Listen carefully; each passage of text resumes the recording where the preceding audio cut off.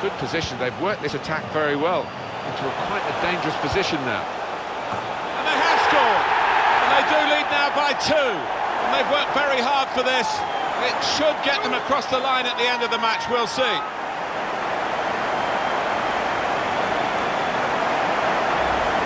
Well, this is the team in form, isn't it? They are excellent, these players today, and they've got their reward here. Well, you look at all of them, they all fancy getting on the score sheet. They're all drifting forward. The goal, wherever you look at it, it was very well taken.